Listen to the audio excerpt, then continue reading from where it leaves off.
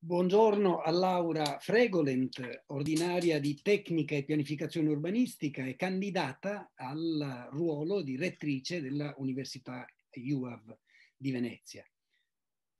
La prima volta di una uh, rettrice donna potrebbe essere questa, per cui una grande novità. Ho visto che anche nel programma, nel programma che hai presentato eh, si eh, sottolineava questo aspetto in vari punti, eh, cioè, l'aspetto del, appunto, del, del, superamento delle differenze di genere e del fatto che dicevi che negli ultimi anni ci sono stati dei cambiamenti anche all'interno del corpo docente, nelle dinamiche di, di immissione di nuovi docenti. Partiamo que- da questo. Eh, qual è la reazione della scuola rispetto alle questioni di genere e rispetto alla tua candidatura? Mm-hmm. Beh, in, intanto grazie Giovanni anche di questa chiacchierata, di questa opportunità anche di confronto che, che, che mi dai. Eh, sì, sarebbe la prima volta e anche la prima volta che una donna si candida. E, mh, mm, noi giustamente, come dicevi, non abbiamo grossissimi problemi di disparità di genere nella presenza sia all'interno della componente eh, del personale docente che del personale tecnico amministrativo e quindi questo è sicuramente un punto importante che ci fa onore. Esistono delle differenze, questo eh, se guardiamo come dire i dati, esistono delle differenze rispetto come dire a quelli che sono poi le, eh, dif, dif, ehm, eh, le, differenze come dire, stipendiali eh, perché? perché le donne poi come dire, hanno, eh, continuano a svolgere, eh, ma questo è un dato come dire, molto eh, che riguarda la nostra società nel suo complesso, continuano a svolgere mh, ruoli di cura che spesso come dire, le pongono nella condizione di dover scegliere, no? di dover scegliere eh, se dedicarsi ulteriormente a, al lavoro o se invece prendersi cura dei propri cari, degli genitori anziani, eccetera. Abbiamo visto le posizioni di chi sostiene esatto. che le donne devono accudire. Ecco. Esatto, esatto. Allora questo continua ad essere, questo è un, dire, un fattore culturale rispetto al quale credo che ci sia ancora un pochino da lavorare. Sicuramente eh, così, lo sguardo all'interno del, del mio Ateneo è uno sguardo più positivo rispetto ad altri. Io credo rispetto al fatto della mia candidatura, beh, ehm, insomma, mi è, dire, stato molto chiesto e sollecitato. Eh, non mi pare in quanto donna, ma in quanto persona che si è eh, da molto tempo occupata di questa istituzione e che ha eh, mh, ricoperto dei ruoli, come dire, di, di gestione, di governo, no? Eh, e, e, più che eh, per l'essere una donna. Poi l'essere una donna è, eh, passami l'espressione, un valore aggiunto. Eh, mi sembra che ci sia una certa curiosità una certa curiosità, una certa attenzione.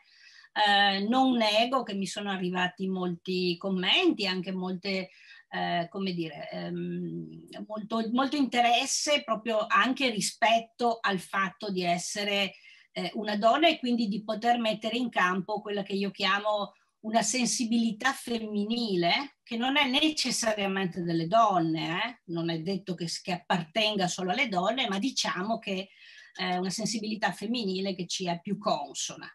E rispetto a questo io ho trovato curiosità, ma mi sembra che sia una curiosità eh, molto, molto allargata, no? se guardiamo a quello che sta succedendo nelle, anche nelle altre università e di qualche giorno fa l'elezione della rettrice di Firenze. E quindi mi sembra come dire che siamo in un momento storico nel quale forse vogliamo mettere alla prova il femminile anche nelle, uh, nei compiti di governo molto alto. Forse è anche vero che sono abbastanza le donne, come dicevi, che sono impegnate e a questo punto, al di là delle differenze di genere, scendono in campo tra le opzioni sempre più donne. al di là delle sì. differenze di genere. Assolutamente sì, cioè siamo eh, persone che hanno competenze, che hanno dimostrato anche sul campo di, di saper fare delle cose, che hanno dei curriculum adeguati e, e, quindi poi sono anche delle donne, quindi forse possono mettere in campo anche questa sensibilità appunto alla quale io faccio riferimento. Diversa anche se io continuo a pensare che sono determinanti entrambe, cioè la mascolinità della donna e la femminilità nell'uomo. Cioè questo mix è la ricchezza che, che, abbiamo tutti, insomma, che è bello mantenere viva, ecco, Assolutamente. senza competizione e concorrenza. Per questo mi piace vedere questo avanzare delle donne e lo vedo come un avanzare a tutto tondo e non come un riconoscimento di un diritto di genere. Ecco. No, No, no, no, no. Siamo d'accordo. Senti, Sono assolutamente d'accordo su questo. Entriamo nel merito dei programmi. Io ho visto il tuo programma, devo confessarti che in alcuni passaggi mi è sembrato un po' criptico. Cioè ci sono mm. alcuni aspetti che da un esterno, da chi non è più appunto interno alla facoltà, diventa difficile capire a cosa si riferiscono. Proprio prima guardavo il brano che diceva i progetti di riforma degli ordinamenti e degli assetti fin qui portati avanti all'Ateneo, bla bla, eh, ma si intravedono alcune possibilità di intervento che vanno in particolare a specificare alcuni discorsi, cioè sembra quasi molto rivolto, giustamente, all'interno della istituzione, eh, sia dell'istituzione per un verso accademica, di formazione superiore, eccetera, sia anche nei confronti dello IUAV come azienda, non nel senso deleterio, no, non nel senso deleterio, ma nel senso di una struttura composta da personale docente, non docente, non nel senso di dipendenti, proprio nel senso delle diverse componenti che non sono soltanto quelle direttamente impegnate nella didattica e nella ricerca, ma anche quelle importanti impegnate nella fornitura di servizi. Uh-huh. In questo senso mi pareva eh, che la tua attenzione fosse molto rivolta a tutte le componenti, cercando di, di ricomporre una strategia unitaria per tutte queste componenti. Allora, guarda, ehm, diverse questioni sollevi a partire da un'osservazione. Allora, la prima, sgombro il campo dagli equivoci. L'università è l'università e l'università non è un'azienda, assolutamente questo non, non, sta nella nostra mission e io assolutamente non credo nella università come azienda. Um, il linguaggio, hai, hai ragione, l'hai, l'hai, sottolineato, è un documento che ovviamente si rivolge a una comunità specifica, che è una comunità che, uh, che, che, che si occupa di alcune questioni, l'esempio che facevi sulla didattica, eh, una didattica. Uno che non è dentro non capisce, mentre uno che è, sta lavorando su quei temi e poi anche col dibattito interno sa a cosa ti riferisci. Eh, guarda, la, la didattica è, direi l'organizzazione dell'università è molto molto cambiata rispetto a, a quanto non, non, fosse quando eravamo studenti noi Giovanni, no? Eh, dove le, le, le, i percorsi erano molto diversi, no? E quindi eh, il, il, mio riferimento in quel caso era un riferimento al fatto che noi abbiamo fatto una serie di riforme ehm, nel corso di questi ultimi anni proprio sulla didattica, di specificazione di alcuni corsi triennali, delle magistrali e eh, il mio interesse in quel, in quel campo è eh, ci sono altri spazi dove noi possiamo, possiamo aprire nuovi fronti di insegnamento, mi riferisco in particolare alle lauree magistrali, no? ai percorsi magistrali. Allora questo ovviamente eh, è, una, um, è, una, è, un auspicio anche che io, che io metto in campo, no? cioè della possibilità di offrire, di dare maggiore offerta formativa. No? Eh, come ben sai, eh, i nostri percorsi, i nostri corsi di studio hanno anche subito un, un, arresto dal punto di vista degli iscritti, le facoltà di architettura, di ingegneria, di pianificazione sono state eh, i corsi di studio di, di, di, in questi ambiti sono stati anche molto eh, messi a dura prova no? fino a qualche anno fa. Adesso noi registriamo invece una ripresa dal punto di vista degli studenti, mentre magari gli altri corsi di studio che noi abbiamo, mi riferisco a design, mi riferisco a, a design della moda, mi riferisco a eh, arti, a teatro, sono corsi che invece hanno, come dire, eh, conquistato eh, e hanno un numero, un numero di studenti molto, molto interessante, no? Cioè sono degli ambiti di, di grande attrazione, di grande attrattività per gli studenti. E, ehm, ma anche i corsi, come dire, più tradizionali stanno, eh, stanno molto meglio adesso, no? Cioè abbiamo, come dire, una ripresa e anche in virtù, io credo, delle, eh, dei cambiamenti che sono stati apportati e delle riforme che sono state introdotte nel corso degli ultimi anni. No? Perché questo è il Dipartimento Unico, mi pareva che eh, tu appunto sottolineassi i benefici che erano venuti e volevi rilanciare in qualche modo e consolidare, forse rettificare anche i percorsi, gli orientamenti, ma a partire dai benefici. Esatto. Eh, il Dipartimento Unico è stato uh, una, un'introduzione che eh, io trovo tuttora molto importante e significativa perché questo ci ha consentito eh, da un lato di, eh, come dire, di definire in maniera più precisa, ad esempio, il percorso, eh, il percorso di architettura no? all'interno del, dell'Ateneo. Eh, dall'altro ehm, contribuisce, questo è un percorso che è stato avviato, eh, che non è ancora diciamo completato com- compiutamente, ma contribuisce a creare anche maggiore trasversalità tra questi corsi di studio e, eh, ed è una trasversalità che non può essere, che non può essere in generale e per tutti, però si possono costruire, come dire, delle trasversalità tra architettura, arti, tra architettura design, tra architettura pianificazione, con maggior agio, mh? Hm, proprio per l'essere all'interno di uno stesso dipartimento. Perché poi i, dire, i, confini, i confini dei dipartimenti sono anche dei confini molto, eh, solidi e, e, talvolta in, in, invalicabili per, per, varie ragioni, anche di carattere proprio, diciamo, organizzativo, burocratico, no? Mentre invece l'aver abbattuto questo steccato è sicuramente una, eh, un, un punto di forza che noi abbiamo, un punto di forza e che ci, come dire, consente di andare in quella direzione. Noi abbiamo vissuto da studenti appunto la nascita dei dipartimenti. Io non capivo sta roba in, per quanto riguarda l'area della progettazione architettonica, teoria e tecnica della progettazione architettonica, teoria e tecnica della progettazione urbana, poi non si capiva più cos'era composizione e progettazione, c'era questa frammentazione che in effetti è stata superata. Al tempo stesso, però, ricordo che Manfredo Tafuri, per esempio, eh, era uno dei sostenitori di una idea di dipartimento addirittura interfacoltà. Lui diceva ci vuole un dipartimento di storia che abbia Ca' Foscari, UAV o quant'altro.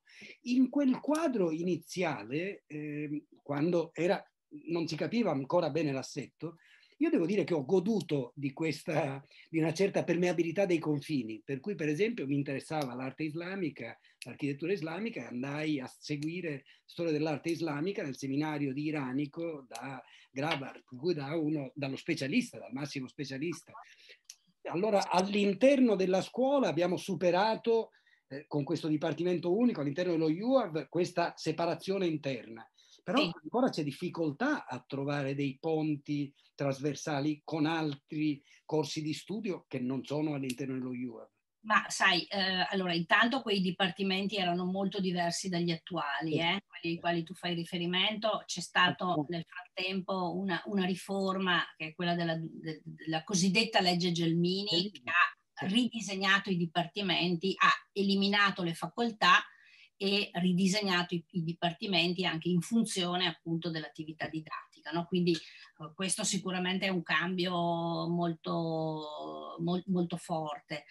Ehm, ehm, io, ehm, ci sono delle formule, ci sono delle formule di, eh, come dire, di, di contaminazione anche tra atenei, ci sono ehm, formule che consentono ai nostri studenti, ad esempio, di andare a seguire dei corsi anche a Ca' Foscari, appunto, no? ehm, o di seguire i corsi della, della via U. ehm, al nostro interno comunque questa trasversalità, questa trasversalità che io la vedo eh, come una grande, una grande forza perché mh, pur nel ris- totale rispetto delle discipline e dell'importanza delle discipline, tu fai riferimento a un dipartimento di storia che è stato, come dire, eh, una, un, un, vero punto di riferimento, no? E, e, continua anche a esserlo, è la componente, la nostra componente di studi eh, di storia dell'architettura, ma voglio dire, fai riferimento a un'epoca nel quale, ma un po' come il dipartimento eh, come era il DAEST, no? il Dipartimento di Analisi Sociale Economica e Sociale del Territorio. Esatto, cioè de- erano dei dipartimenti che erano, come dire, il, il riferimento rispetto al, al, campo, in questo caso degli studi urbani, per eh, il, il, paese e anche più del paese. No? Ehm, però tornando all'oggi, io questo, il Dipartimento Unico, unico tra l'altro io eh, in questo momento ricopro il ruolo di direttore della sezione di coordinamento della ricerca del Dipartimento Unico, no? quindi lavoro fianco a fianco con, un, con il mio, eh, con il mio eh, con, con, il direttore alla didattica del, della sezione di coordinamento della didattica e con il direttore di dipartimento. No? Quindi lavoriamo insieme e il tema della trasversalità è sicuramente un tema che ci, che ci, che ci, tocca, che ci interessa molto, ci tocca da vicino, sul quale abbiamo anche cercato di, di lavorare e di favorire questo, questo, transito. Ripeto, non è facile, non è facile i vincoli eh, dei crediti, dei, so, ci sono una quantità di vincoli eh, enormi, eh, però... Questi eh, intopportabili perché richiamano un'idea proprio di università azienda di nuovo, crediti, debiti, cioè sembra anche nel linguaggio una roba... Vabbè il, il, il, anche il linguaggio è molto cambiato, eh, però ecco, questo è veramente una potenzialità che deriva dalla struttura che ci siamo dati. Io sono abbastanza convinta di questo. Senti, e invece, a parte in generale, ho visto in entrambi i candidati eh, non c'è una volontà di marcare una discontinuità netta con il passato. Però nel tuo programma ho visto una eh, introduzione della eh, utilità di una serie di mh, aggiornamenti, non, non chiamiamoli correzioni di rotta, ma insomma aggiornamenti dell'orientamento. Andiamo su quelli che sono gli aspetti eh, eh, che caratterizzanti, diciamo, il tuo, che sarebbero caratterizzanti il tuo eh, eventuale mandato. Quali uh-huh. sono gli elementi di novità? Sì, eh, ma allora eh, io mm, in realtà la parola discontinuità lo, la uso e l'ho usata anche nel corso della presentazione del programma, no? Ovviamente ehm, in questi anni, eh, come ti dicevo prima, ho ricoperto anche dei ruoli, per cui eh, il, più che la, mi interessa usare la parola discontinuità, ovviamente, ma mi interessa anche usare la parola progetto, no? Cioè io credo che un ehm, rettore o rettrice che si candida eh, ha un mandato lungo, tieni conto che il mandato del rettore è un mandato di sei anni e quindi necessariamente si deve mettere in campo un progetto mh, nuovo, mh? con ovviamente... Eh, eh, le, le, le, le, giuste anche le giusti, i giusti riferimenti e, e, la giusta continuità rispetto a quelle che sono le azioni che sono state eh, condotte che si stanno portando avanti, che non hanno raggiunto un compimento pieno e delle quali eh, chiunque sia dovrà, dovrà farsi carico. No? Certamente quelle componenti, naturalmente il programma, il progetto a cui tu ti riferisci, certo. ha degli obiettivi a breve, medio e lungo termine. Quelli a breve certamente avranno un rapporto con quelli già in atto. E poi man mano però probabilmente l'alveo di questo uh, corso uh, prenderà una via anche con una sua autonomia. Assolutamente sì, cioè io quello che ci tengo a sottolineare è che la, la, discontinuità deve essere in funzione della nostra capacità di liberare energie. Eh, io ci ho tenuto molto a sottolineare questa questione sia nel programma che nella presentazione che ho fatto, no? cioè il fatto che l'Ateneo abbia bisogno, in tutte le sue componenti, non sto parlando solo dei docenti, eh, in tutte le sue componenti di liberare energie, che sono energie fatte eh, di, di, che hanno tante forme, sono fatte di conoscenza, sono fatte di creatività, di professionalità, eh, sono fatte anche di desideri, sono fatte di, di reti e di relazioni che sono state costruite nel corso degli anni perché eh, questo è importante secondo me proprio intanto perché siamo un piccolo Ateneo molto polarizzato su alcune questioni, con delle grandissime professionalità interne che devono, come dire, esplicitarsi in maniera piena. Allora, questo ci può, come dire, eh, far tornare veramente ad essere un grande punto di riferimento. Non che non lo siamo adesso, eh, però anche rispetto ai riferimenti che tu facevi prima, no? il, il, mondo è cambiato, il mondo è cambiato, è cambiato l'università, però ecco, eh, tornare come dire, ad essere un faro, questo, questo secondo me è un, eh, un impegno che io, che io, voglio prendermi, no? cioè tornare a, a, ad essere un, un, riferimento per tutti e, e quindi anche eh, avere un po' il coraggio e l'audacia di andare in quella direzione. Tornare ad essere dei protagonisti, dei veri protagonisti. Allora, l'università, se, se, se mi permetti, un po' questo ruolo lo ha perso, per tante ragioni, eh, non solo per eh, responsabilità dell'università, ma proprio perché è cambiato il mondo, è cambiato il sistema delle relazioni, è cambiato, però è cambiato molto anche il nostro stare all'interno delle cose, il nostro stare nel mondo. No? Allora, quello mi sembra, mi sembra che sia un punto eh, sul quale lavorare, un punto anche di debolezza se vogliamo, no? cioè essere un riferimento eh, culturale, essere un riferimento culturale all'interno della città, ma all'interno voglio dire, noi siamo un'università che sta in questa città, ma siamo un'università che sta nel mondo, no? Anche perché stiamo a Venezia, ma l'università sta nel mondo per, per, per, per sua, eh, suo statuto, per sua, per sua mission, no?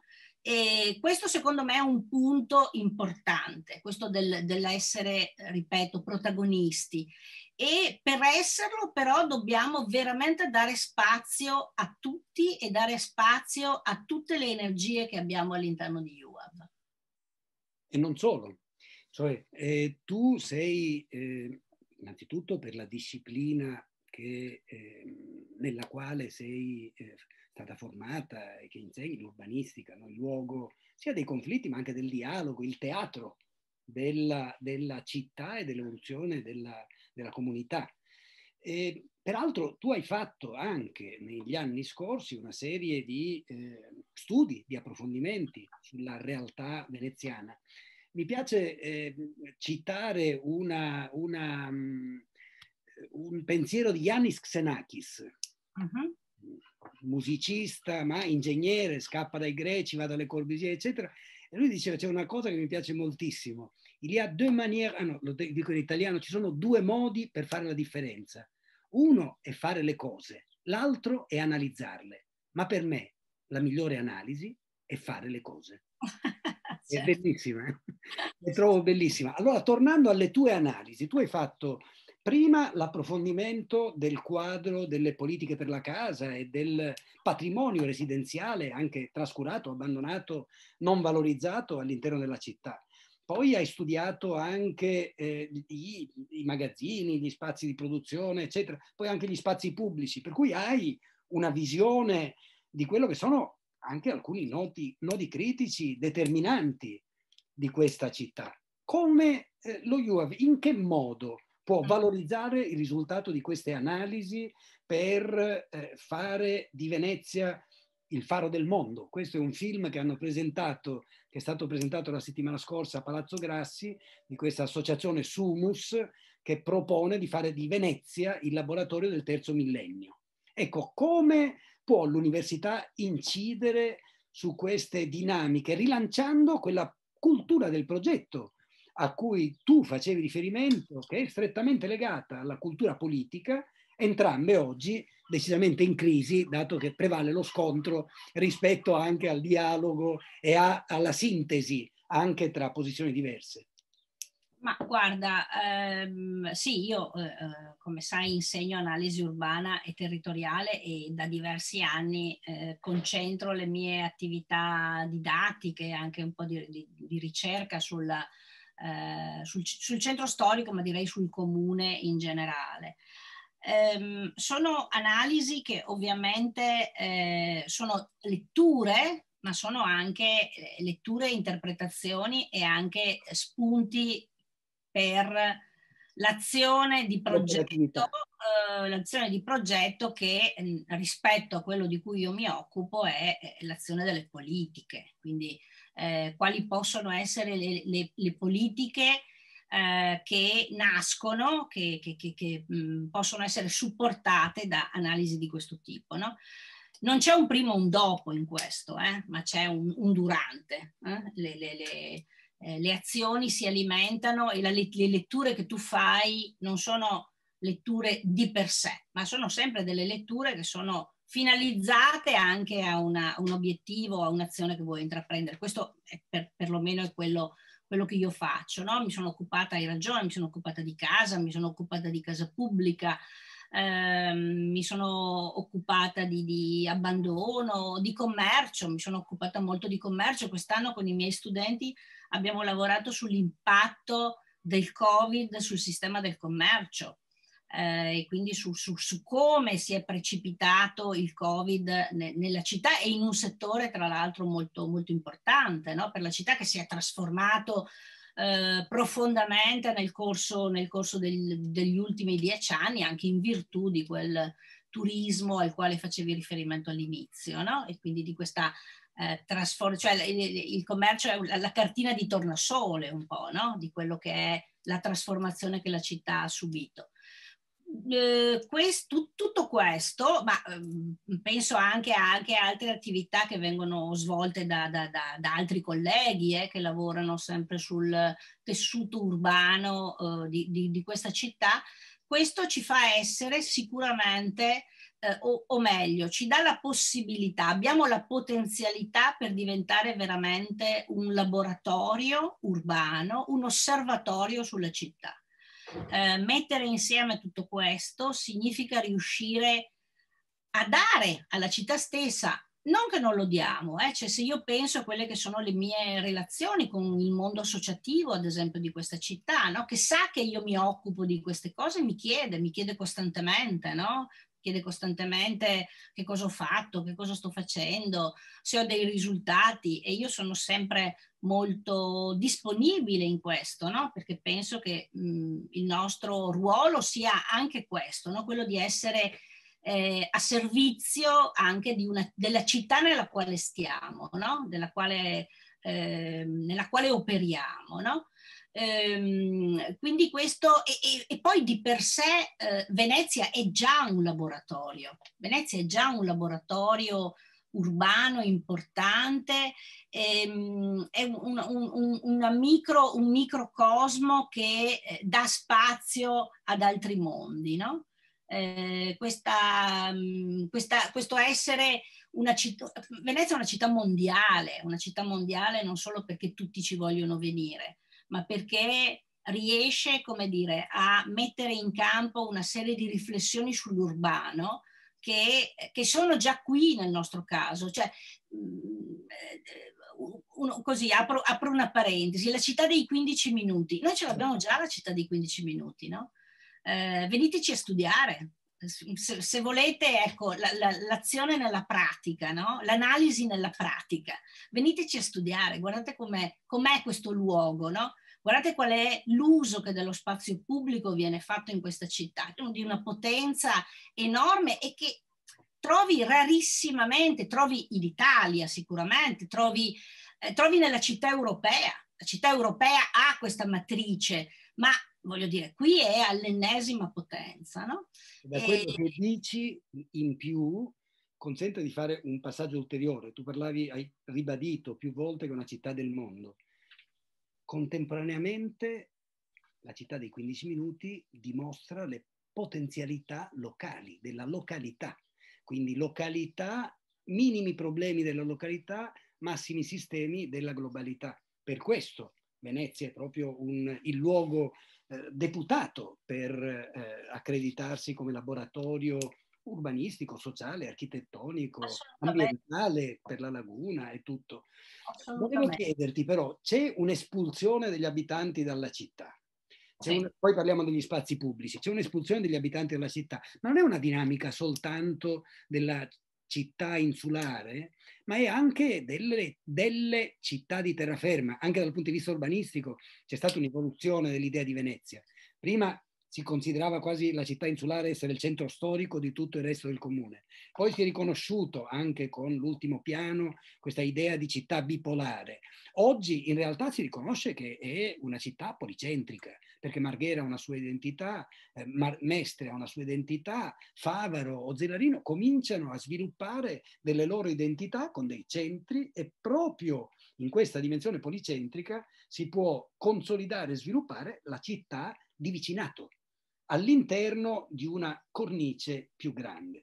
Quello che ti chiederei è un ragionamento, eh, di nuovo andiamo dal dettaglio all'inquadramento, da queste realtà di, delle singole città a quella invece della città metropolitana, che oggi politicamente è un'incompiuta. Sembra, io continuo a eh, insomma, strapparmi i capelli, perché continuo a vedere una opportunità di governo del territorio eh, sterilizzarsi, sterilizzarsi in, eh, in una conferenza di servizi in cui siedono una serie di sindaci portatori degli interessi locali, ma non si riesce a governare un territorio vasto, come potrebbe essere questo di, di, di Venezia. Cosa. Cosa, ne dici? Scusami, ho detto, ho messo tante cose, forse troppe. Beh, ho preso degli appunti, vediamo, vediamo, se mi ricordo tutto. Allora, ehm, ma sicuramente, allora, intanto le dinamiche che tu descrivi sono delle dinamiche condivise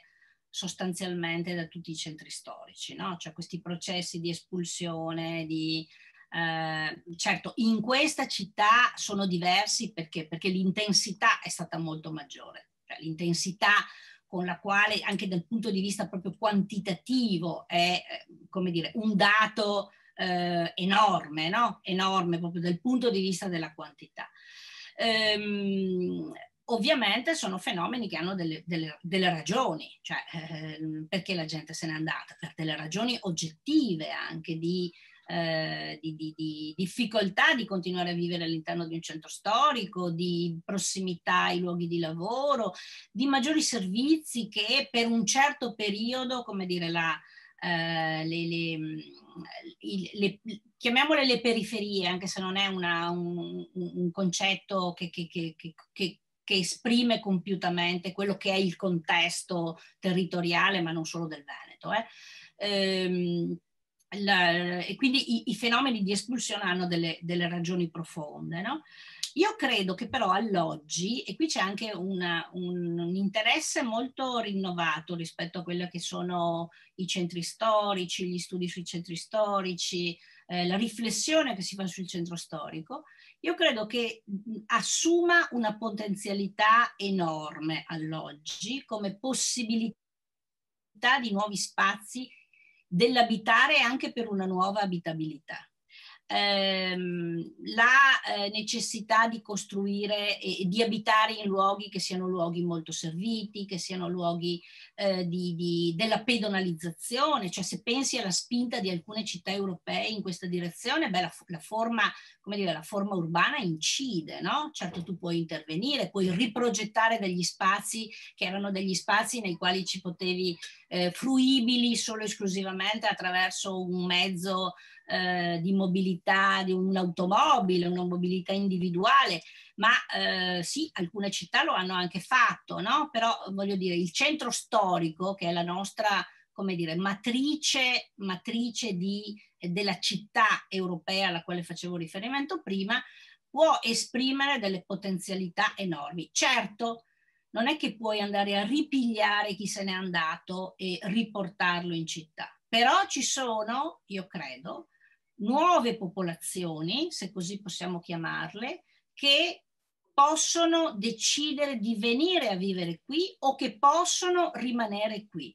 Allora, una città come Venezia e la presenza, ad esempio, di due, eh, di, di, due importanti università, ma anche di altri eh, due importanti università nel centro storico, ma eh, insomma anche nella, nella, parte di terraferma, eh, centri studi, centri di ricerca, eccetera, può attirare una popolazione, eh, anche una popolazione giovane, perché questo è un altro aspetto, no? Cioè la popolazione se n'è andata, ma anche la popolazione si è profondamente invecchiata all'interno di questo e degli altri centri storici. Invece tu immetti della popolazione giovane. Gli studenti hanno anche questa grandissima capacità, gli studenti, i ricercatori, gli assegnisti, i dottorandi hanno questa grandissima, offrono questa grandissima opportunità al contesto urbano, che è quello di portare nuova popolazione, che possa rimanere qui.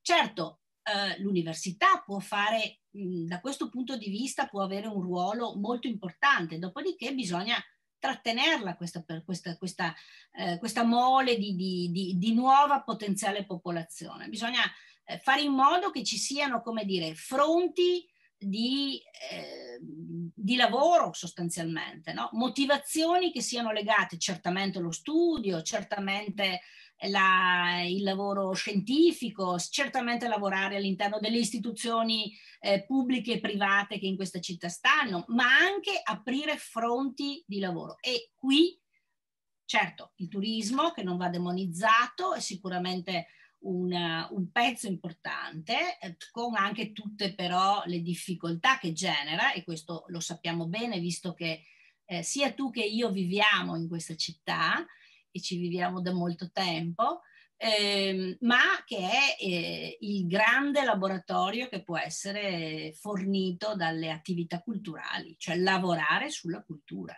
Questo, Questo per quanto riguarda le funzioni. E sono assolutamente d'accordo con quello che dici. C'è però bisogno di una sinergia in una prospettiva condivisa e in una visione. Cioè, la, la domanda che mi viene da farti, perché possiamo attrarre e secondo me Venezia attrae.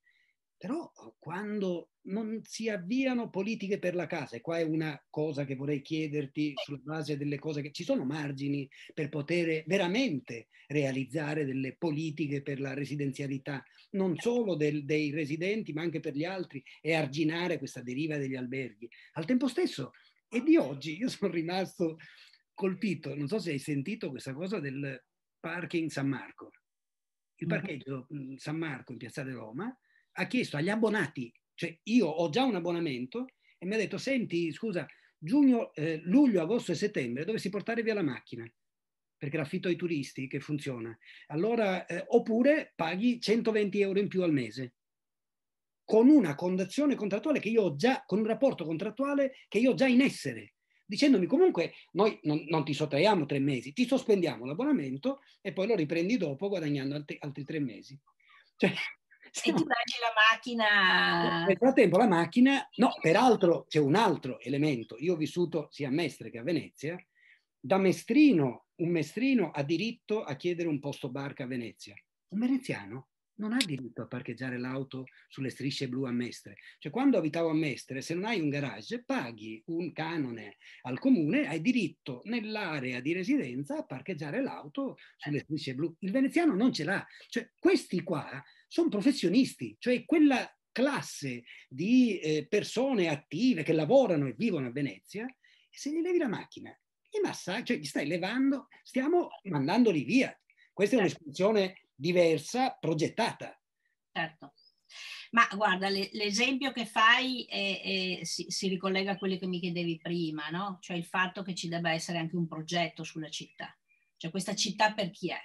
Allora, esatto. questo è sicuramente non è in capo all'università questo, non è in capo a un rettore o una rettrice, però eh, l'università, come dire, deve anche costruire delle sinergie forti con eh, le istituzioni in primis, le istituzioni pubbliche e anche, come dire, ehm, contribuire a costruire fronti di, di, di, di, dialogo e costruire anche fronti di riflessione su queste questioni, no? Perché appunto se eh, noi vogliamo che questa città viva e viva di eh, persone che qui ci abitano, ci vivono e ci ritornino, ma ehm, non è solo il residente in senso stretto, lo dicevi anche tu prima, no? c'è una popolazione temporanea, errante, molto interessante, che, che, fa parte della natura di questa città. Abitanti a pieno titolo. Abitanti a pieno... Questa città è, è per sua natura un porto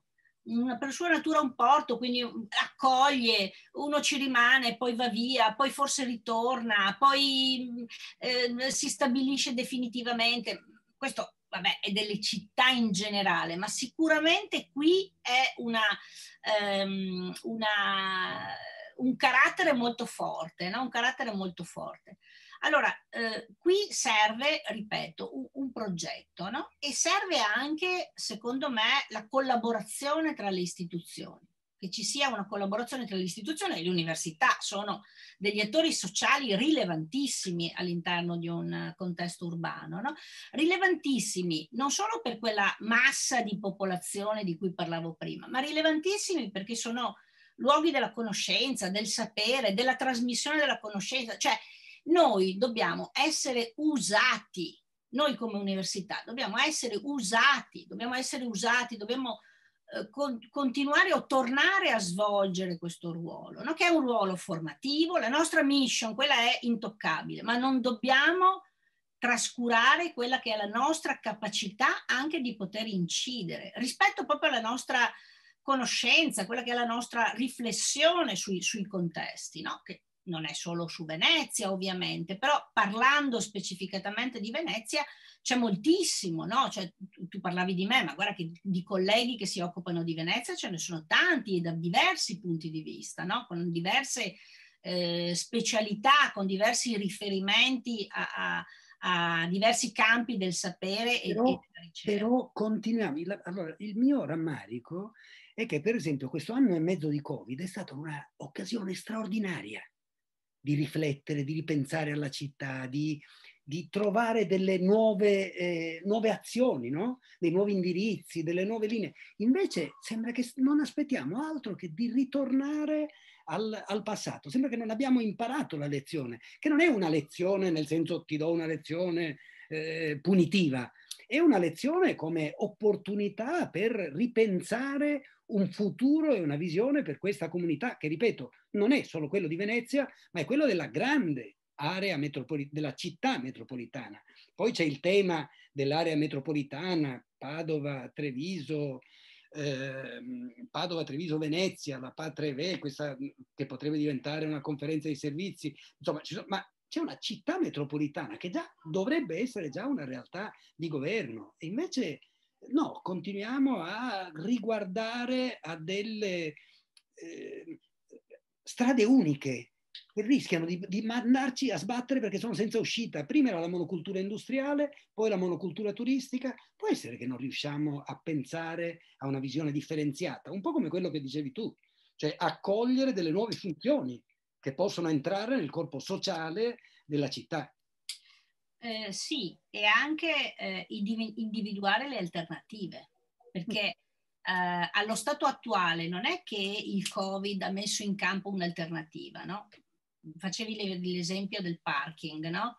Eh, non, una, no, no, non, si è formulata un'alternativa diversa in questo anno e mezzo, ma siamo, siamo, dico genericamente siamo, poi ovviamente sto parlando degli operatori del settore, eh, so, siamo tutti rimasti ad aspettare che tornasse il turismo, eh, che tornasse il turismo non solo per eh, l'imprenditoria privata, ma anche per eh, il sistema museale, per dire, no? Cioè, voglio dire, è, è veramente molto ehm, importante dal punto di vista de- della struttura economica di questa città, no? Allora, però ha degli impatti perché il turismo, il turismo ha eh, degli impatti molto forti sia sulle trasformazioni, prima facevo il riferimento al commercio che è veramente la cartina di tornasole di come, di come, di, di come si è trasformata la città in funzione del turismo, no? basta guardare il commercio e, ehm, e, e anche de, de, de, degli impatti, cioè,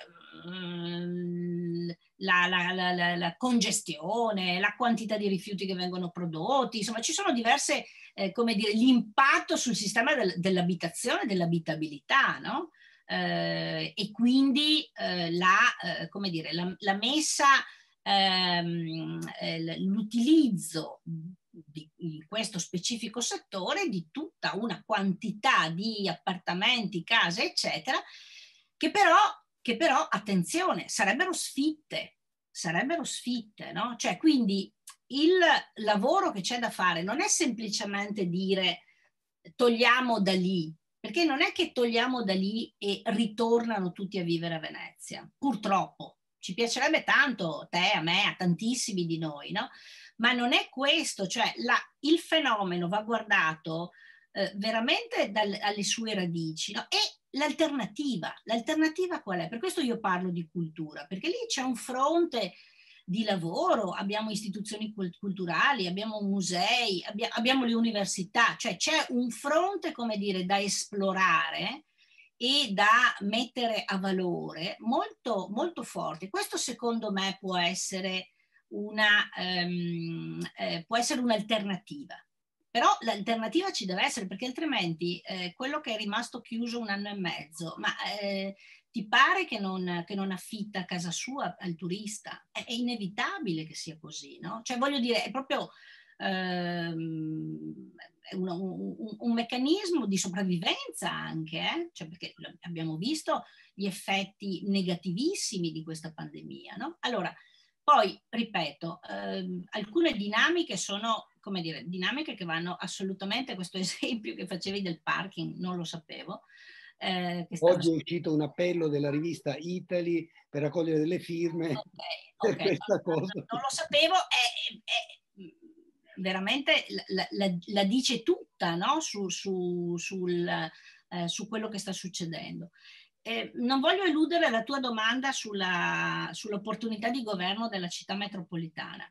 Eh, io penso che quello sia una scala assolutamente eh, fondamentale anche per gestire il turismo, anche per gestire i flussi turistici, eh, che non possono, secondo me, in, in maniera fruttuosa essere gestiti solo alla scala urbana. La gestione del turismo è una cosa ehm, molto complessa, vabbè, qui ci sono esperti che ci insegnano eh, moltissimo su questo, no? Ehm, non, non, basta neanche una gestione a quella scala lì, però sicuramente, sicuramente la scala metropolitana è una scala adeguata, no? Perché allora lì puoi, come dire, anche eh, fare quelle operazioni di diversificazione, puoi fare delle, delle operazioni anche di valorizzazione del turismo ad una scala diversa rispetto a quella che è la scala eh, come dire, della, della, della, città e del centro storico, ben sapendo che tutto il mondo vuol venire in questa città, no? quindi anche questo, eh, come dire, in, impatta in un qualche modo, però sicuramente quello è il livello giusto della gestione.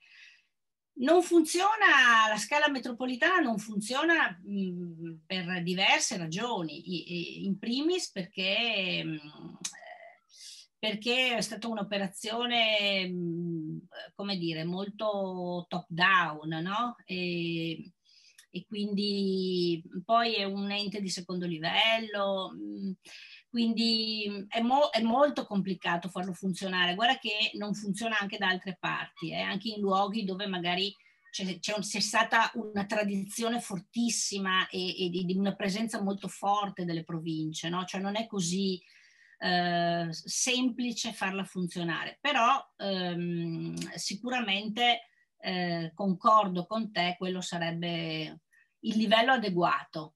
Quello sarebbe il livello adeguato. Ehi, cosa? Io ci pensavo, si potrebbe coniugare la riflessione sulla città policentrica, sulla città dei 15 minuti, con quella della città metropolitana. Cioè una delle condizioni per far passare al primo livello la città metropolitana è quella che il comune di Venezia si autodivida, eh, si autoarticoli.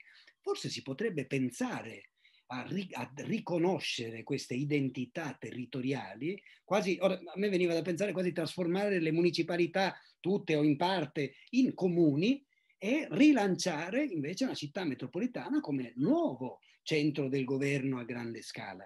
Non so se la mia è una fantapolitica, nel senso che ho chiesto anche a vari eh, esponenti politici e mi dicono che non è all'ordine del giorno un'ipotesi del genere. No, tieni conto che noi stiamo andando più verso le unioni dei comuni che non la divisione dei comuni, anche se poi avvengono anche queste, no? No, ma l'alternativa è cambiare invece il decreto legge consentendo di passare al primo livello con invece meccanismi di unione, ma neanche quello è nell'agenda politica. No, però, però tu, hai, tu, hai, una moltiplicazione dei costi, secondo me, cioè le unioni dei comuni perché le fai? Perché ci sono delle economie di scala che, che, che, che ovviamente vengono messe in campo, no? E, e, anche di gestione di alcuni servizi, di, di facilitazione in questo senso. Dopodiché ehm, i, i contesti ai quali tu fai riferimento hanno anche una loro, come dire, hanno acquisito anche una loro, una loro forza e una loro eh, specificità no? rispetto a, a um, parlavi di, una, di un, un, sistema quasi policentrico, no? io non so se userei questa parola nel caso di Mestre, Marghera, eh, Favaro, Zelarino, eccetera, non so se userei questa, questo, questo, termine, no? però sicuramente eh, e sono riconoscibili come ambiti mh, suburbani specifici, no? Questo sì. E allora lì devi lavorare potenziando di servizi, cioè lavorando anche veramente nel micro, no? Cioè c'è una gestione macro e c'è un intervento alla scala micro puntuale che valorizzi anche quei luoghi, no? E che vada nella direzione di, di, di, rendere tutti degli spazi estremamente abitabili, estremamente vivibili. No? Questo, uh, questo sì. Il problema è che si è continuato a fare un tiro e molla. Cioè, si è concesso una serie di deleghe alle municipalità, si sono concesse una serie di competenze anche sui lavori pubblici, la manutenzione delle strade locali, alcune cose, poi si sono ritirati, oggi siamo arrivati al punto in cui sono state sterilizzate e private del tutto delle deleghe. Cioè qui c'è un problema di cultura politica. Mm. Ora, eh, sì. Ehm, sì, di, di, cultura politica, di gestione, io direi. Governo. Di, di, di gestione, nel senso che eh, questi organismi sono organismi che eh, mh, possono svolgere più, più ruoli, no? perché possono svolgere un ruolo dal lato di rappresentanza di quei luoghi, che non è poco, e dall'altro possono essere usati proprio per una qualificazione, un intervento attivo no? su quegli spazi che magari l'amministrazione diciamo più, più centrale anche per, per, per, è più distante, più distante in senso di, di, eh, di, di lontananza, non di distanza voluta. No? Questo, questo, potrebbe essere, però all'interno di un organismo più ampio che gestisce altre cose, cioè il turismo, il turismo alla scala metropolitana mh, mm, e, e, la gestione del turismo alla scala metropolitana sarebbe una, non dico che sarebbe la soluzione, non lo so, però ehm, penso che sarebbe una grande opportunità sperimentare forme di governo quella scala lì. Ma anche proprio nella dimensione del sfruttare questa risorsa per un territorio più ampio riuscire a sfruttare questa risorsa per un territorio più ampio che tra l'altro ha anche dei valori, come dire, ambientali, storico-culturali molto rilevanti, no?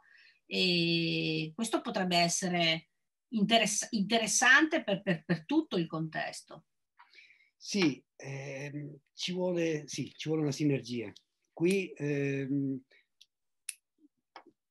depongo eh, grandi, pongo grandi speranze nei confronti della, della università come, come, strumento di pungolo. Io ho visto questo nuovo quartiere degli alberghi a Mestre, mentre c'è l'Anda, questa specie di ostello che è proprio rivolto verso la città e ha una serie di relazioni con il centro mestrino, manda questi studenti lì, il resto degli alberghi invece è diventato una sorta di enclave con un corridoio privilegiato che li porta direttamente al binario ferroviario per collegarli a Venezia, ma è completamente separato. Addirittura lì c'è un passaggio sotto il cavalcavia che potrebbe essere una porta per entrare verso le Menove, verso Mestre, ed è abbandonato, è uno spazio completamente inagibile. Ecco, se, eh, forse se ricominciamo a rimettere assieme i pezzi di questo mosaico del territorio, forse possiamo costruire una nuova Venezia. Assolutamente sì. E, ehm, io credo che noi come università possiamo fare molto. possiamo fare molto e ripeto, dobbiamo anche essere usati, dobbiamo essere usati, Ci dobbiamo, noi stessi dobbiamo essere, come dire, più proattivi, uscire di più, uscire di più sul, sul territorio, sulla città, però anche eh, essere usati eh, per le nostre competenze, per le nostre capacità, per, per il sapere che abbiamo accumulato. Eh, questo, questo, è un ruolo, cioè questo ruolo, passami l'espressione di advocacy, ehm, è un, un ruolo che, che, che, io rivendico, ma che anche eh, sento, di, di, sento che possiamo dare. Sento che possiamo dare. E allora su questa affermazione di speranza io mi fermerei per non ricominciare, anche perché ti ho portato un po' fuori strada per certi versi, ma non fuori strada rispetto alla conclusione che hai appena fatto, perché abbiamo finito per parlare del territorio e quindi della uh, visione che del territorio si ha grazie all'analisi e al, e al lavoro di, di, sul piano didattico e della ricerca. Certo. Laura, Quando presenterò la... i lavori dei miei studenti ti invito. Voglio Assolutamente, vengo con piacere. Ti invito, va bene? Vengo con piacere. Senti, grazie molte e auguri per questa avventura che comunque vada, mi sembra un'occasione di confronto e di crescita per, Senza dubbio. per lo UAT. Assolutamente sì, condivido. Grazie a te di questa. Grazie tante, grazie. Ciao.